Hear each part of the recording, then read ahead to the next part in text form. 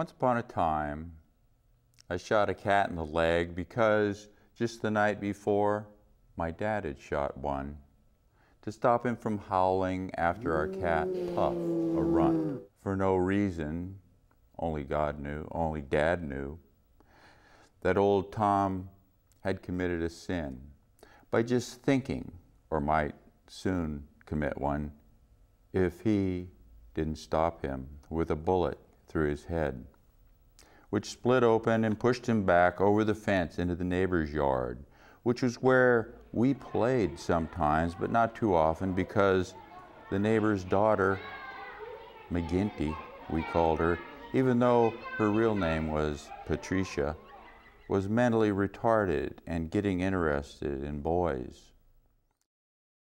And one time asked me to pull my pants down so she could look, which made the entire neighborhood nervous because we were all Catholics, maybe poor, and didn't know much, but we knew God hated stuff like that and anybody who even thought about it, like cats, which is why I took my pellet rifle and went after the cat, sunning himself in his front yard because he was a cat and having impure thoughts about Puff or some other cat and if he wasn't thinking them just then, he probably would that night. So I shot him in the leg so he would remember God